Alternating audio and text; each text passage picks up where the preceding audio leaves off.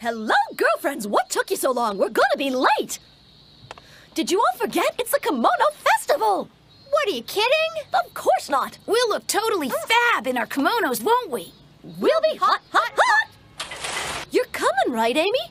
We can take one day off, study buddies. Hmm? That's right. Anyway, we're not mm-hmm. taking no for an answer. Mm-hmm. Oh, you guys. The Kimono Festival's my favorite.